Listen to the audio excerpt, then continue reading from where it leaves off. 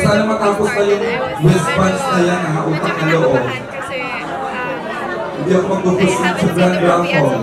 only my scene, so when the played, I was very, very excited to see, you know, the whole dynamic of the cast and the story and how it will